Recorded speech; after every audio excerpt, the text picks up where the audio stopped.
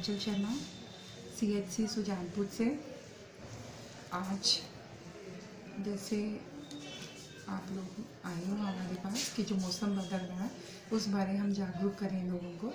तो सबसे पहले मैं आपको बताना चाहती हूँ कि ये मौसम जैसे एकदम से कभी सर्दी, कभी गर्मी का बीच में हो रहा है और कल परसों से हमने देखा कि मौसम ने एकदम से करवट की है और मौसम काफ़ी ठंडा हो गया है और हल्की हल्की बारिश की बौछार भी हो रही है। इस मौसम में हमें सबसे ज़्यादा क्या ध्यान रखना है कि कई लोग जैसे एकदम से आदि बाजू वाली शर्ट पे आ जाते हैं या घर कॉटन के कपड़ों पे आ जाते हैं।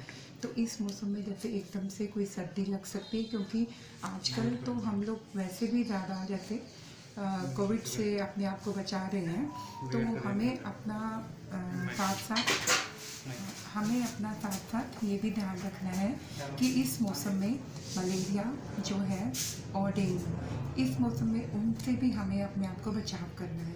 इस मौसम में अभी हमें पूरी बाजू के कपड़े पहनने हैं। गर्म चीज़ें ही खानी है, जैसे गर्म करके ही दाल, सब्ज़ी, रोटी गर्म ही खानी है, ठंडा पानी नहीं पीना है, क्योंकि अगर ठंडा पानी पिएँगे इस मौसम में तो हमारा गला एकदम से ख़राब हो सकता है और गला ख़राब होने से हमें जुकाम, सर्दी, खांसी जो है, वो पकड़ सकती है। और जैसे सब लोग अवेयर हैं कि अपने आप को वो लोग सर्दी, खांसी या जुकाम से बचा ही रहे हैं, क्योंकि जिसको भी सर्दी, खांसी होती है, वो थोड़ा अलर्ट हो जाता है कि हमें कहीं कोरोना तो नहीं हो गया। तो सबसे पहले है कि हमें अपनी प्रिवेंशन है, हमें अपना बचाव है खान पीन का हमें अपना परहेज़ करना है और, दूसरा है अपना कपड़े जो है, हल्के गर्म अभी पहन के रखने हैं।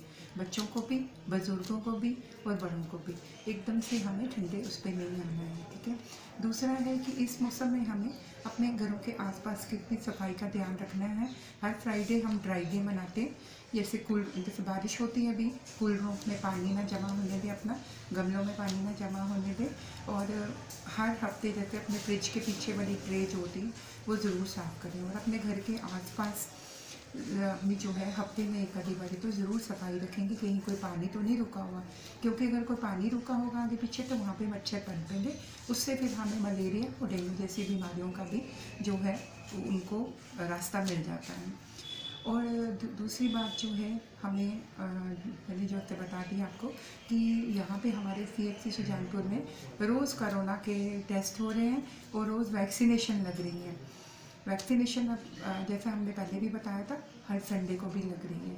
इसलिए जो भी बेनिफिशरी हैं, वो यहाँ पे आके अपने आप को वैक्सीनेट करवाएँ और जिसको कुछ लगता है कि किसी को कोई बुखार है, सर्दी, खांसी, चार पाँच दिन से ज़्यादा है, क्योंकि आजकल जैसे जो करोना का सेकेंड ग्राफ है, वो काफ़ी हाई है तो हमें आके बगैर किसी हिचक के हेजिटेशन के कोविड सैम्पलिंग ज़रूर करवानी चाहिए, क्योंकि हमें अपने आप को, अपनी फैमिली को और अपनी सोसाइटी को सेफ़ रखना है।